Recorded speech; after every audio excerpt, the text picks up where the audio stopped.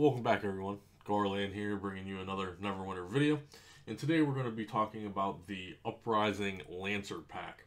Now, depending on when you're watching this video, this pack was released on October 4th of 2019, uh, about a week after the launch of Mod 17 on console.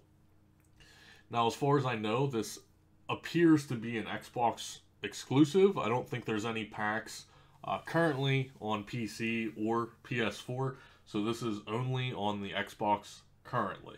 Now that could change. They might release something down the road with PS4. I'm assuming they have to negotiate something between Sony, uh, you know, to get a pack on PS4. So let's take a look at this. Let's explore it and let's talk about it. So this is the Uprising Lancer pack. Uh, it's gonna be ten dollars. You can't buy this with Zen, you have to buy this with actual USD currency or the equivalent of your country.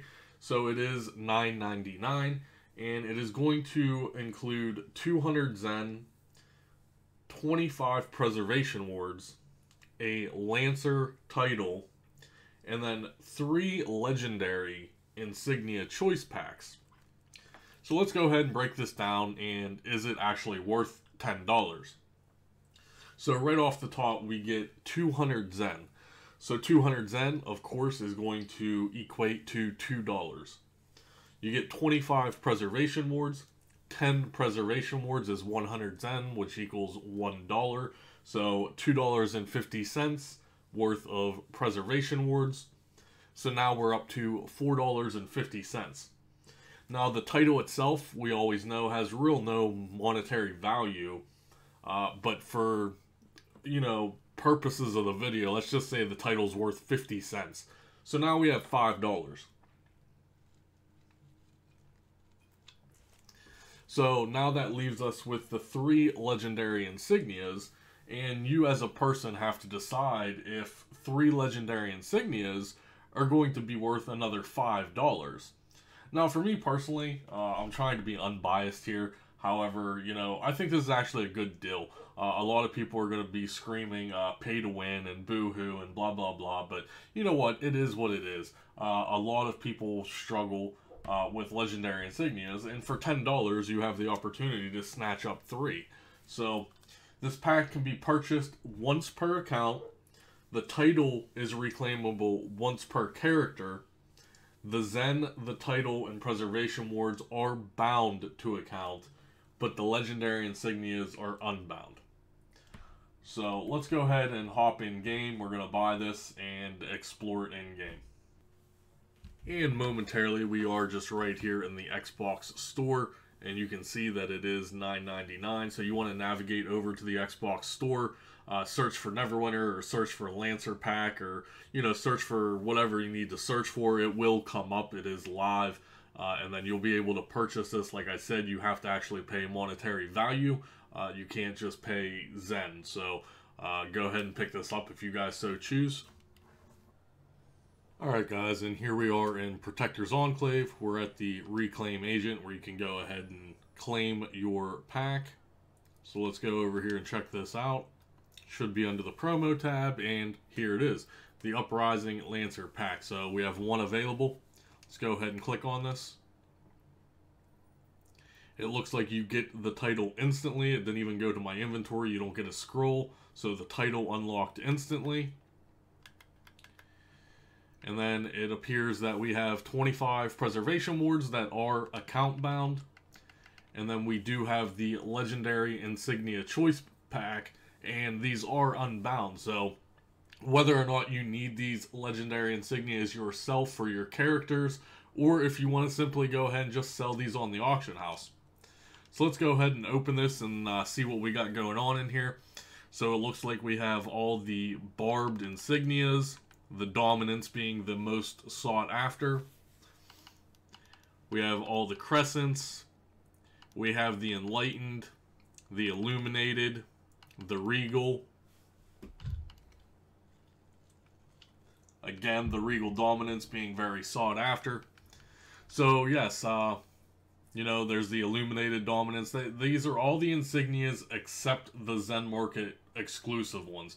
So there's no fortitude in here. There's no brutality in here. You know, brutality is another sought after legendary insignia.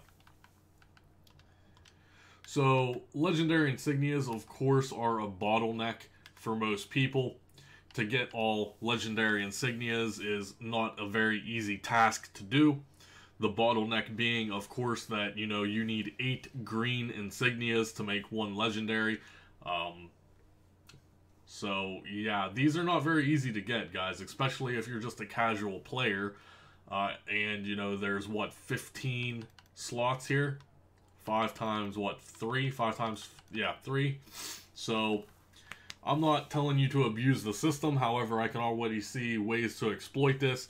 Um, you know, if you have five accounts, uh, five gamer tags on Xbox, and you bought you know five of these packs for fifty dollars uh, each pack gives you three, five packs. That's 15 legendary insignias. Uh, of course, that's against the terms of service. You know, I don't encourage that. I'm just saying, you know, theoretically, people could exploit this if they were willing to pay.